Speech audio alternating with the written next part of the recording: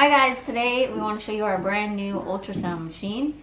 We ordered it on Amazon. It's one of the more affordable machines that you can get. It's a good starter machine. There are a lot better quality machines, but they run probably triple the price of this machine. We bought a Contec, and it's all hairy. And it has a, what I believe is a convex probe. I think it's a great starter machine to start with. Get used to ultrasounding, see if you're going to be using it a lot, and then maybe upgrade later is what we are thinking. And since none of our goats are ready to really see some good babies, we invited our friends Amanda and John over to bring some of their does, and they wanted to confirm pregnancies. So we thought it'd be good to get practice with our machine and really see if we can see some babies. So we did use this on Molly. We showed you guys our AI breeding with Molly and we did see that little baby but um, she recycled it so we want to look at some does that we know for sure are bred and get good practice with our machine but we'll show you a little bit about this machine. It's a nice hat. This hat is from HRD Designs where we got Justice and she makes the most cutest little goat crafts she also makes hats and this is one. All right, we're gonna go through some of the settings on the machine, so what we've learned so far, so that if you guys have a similar machine, uh, that you can mess around with some of the settings that we've found, or if you guys have any suggestions, leave them down in the comments below. Let's get started. There's the power switch here. Um, comes with your cord wrapped. I would leave that wrap on so you can disinfect it easier. You open it up just like a laptop and then you turn it on. It does take a minute to get started and it just takes a moment to get started. There's just a couple settings that we mess with. Hold on. Stop. and that's the depth and it kind of zooms it in. And then my friend showed me there's a setting for a left and a right side. So if you're ultrasounding from the left or the right, you can change that setting. And then we just changed the setting to goat or sheep or whatever. So this is the, it's set for cow right now.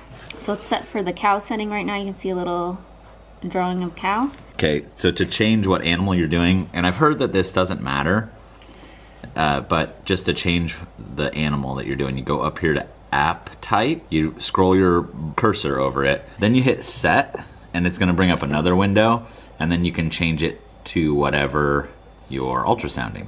So in our case, we're gonna go down to sheep, even though they're goats. It's yeah. very similar. Even though they're goats. And then you hit set one more time. That locks it in and changes the little guy down there. So now it looks like a sheep goat looking thing. Now the left and right side, you can see this it would be if you're ultrasounding the left side. If you wanted to change that, you can scroll over here to body mark and hit set and then it gives you a left, gives you a left and a right side. Oh my gosh, we could have done Eloise. Oh, there you go. and so you would just scroll your cursor over which one you want, left or right side. The right that, side's better. And then click set. And so now the little diagrams display the other way. And that's, that's pretty much all the settings yeah. you need to mess with. Yep, everything else is pretty much good to go out of the box um, as far as your depth and your gain your frequency and your zoom. The only other thing that we do when we are doing ultrasounds is we will zoom in sometimes to kind of see, to make the screen a little bit bigger. Jennifer, how do you do that? You press the depth button. Oh, that's it? That's all you do? Yeah. You just hit the depth button? Yeah. Where is it at? Right here. See? So that'll zoom you in and out. Nice. That's our machine. Yeah.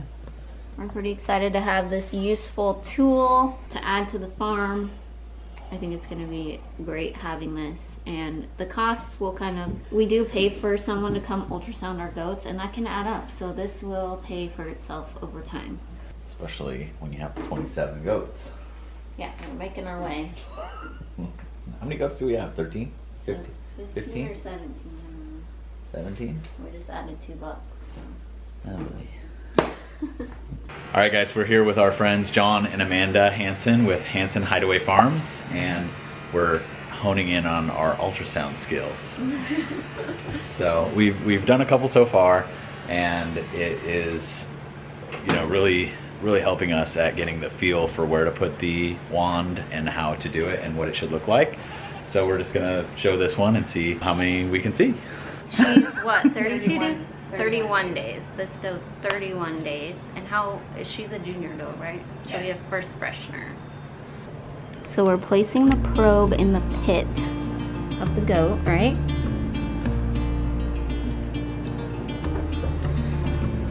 Press firm. Mm-hmm, press. Press a Oh yeah, I see some. Press harder. Oh, it's more. I think she's Up got two. There.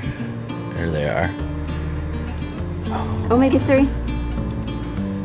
Okay, so that. Just slowly.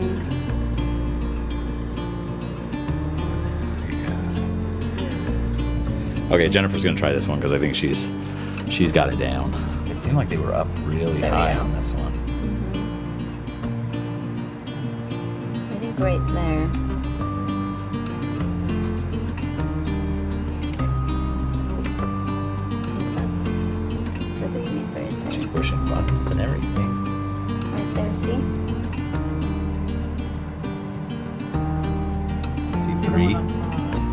Moving?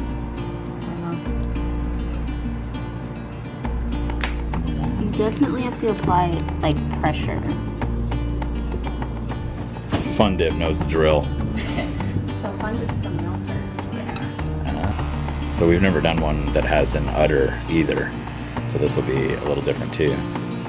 All right, that's a, that's gonna do it for our ultrasounding. Um, thanks to John and Amanda for bringing their goats over to let us practice on basically to kind of get the hang of our ultrasound machine. That was really cool. And if you guys would like to follow them, they have a Facebook page, uh, Hanson's Hideaway Farm, and we'll leave a link to that down below. And that's, again, that's where we got Dottie and we got Lemon. So um, they have some pretty exceptional goats over there and uh, they're doing their thing. Milk testing, participating in linear appraisal and performance programs also. They also show pretty awesome people and it was really nice of them to bring their goats over so that we could practice. So all in all, they brought five goats for us to look at. And for the most part, we were able to see the sacks in the ones that were 30 to 40 days or so. There was one that was 28 days and that was still in milk and that one was really a challenge to see the babies in there.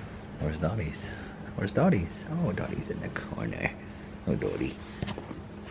Hi, Cardi. Hi, Cardi. Oh, goodness. I know what they want. They want their cookies. These are their little goat treats right here. They want a little goat treat. I can't get my hand in there. Ah. ah. One for Gertie, Ow! Today we noticed that Fawn is in heat, and we did try an AI on Fawn also, which didn't work.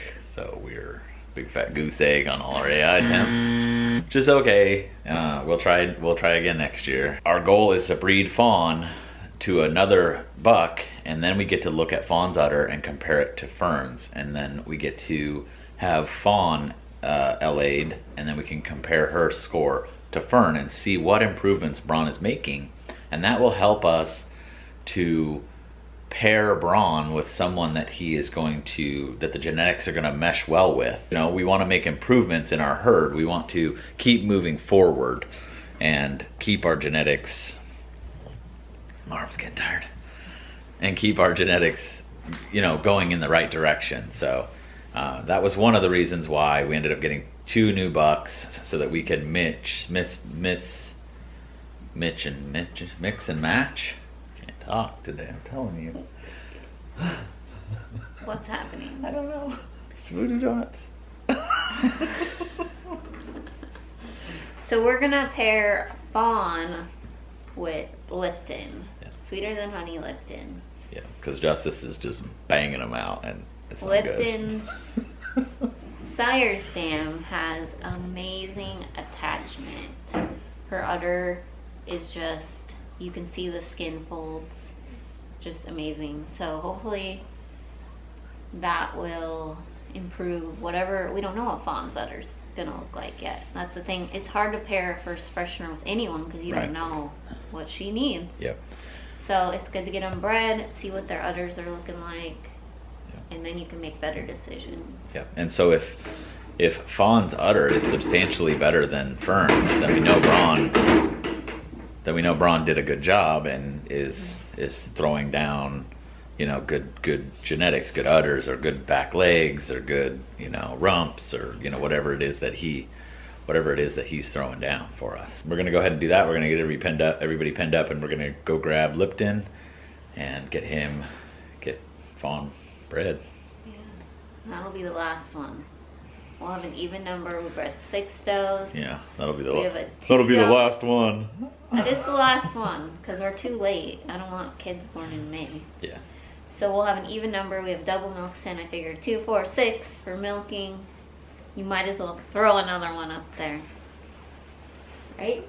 Before work. Oh yeah. Oh, oh yeah. Oh, he's alone. Come on, funny. See your boyfriend. Like you're feeding piranhas.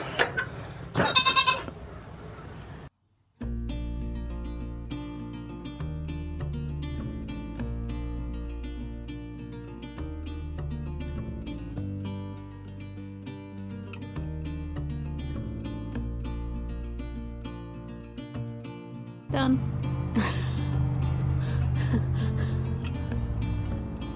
Say good night, everybody. We see you in the next video.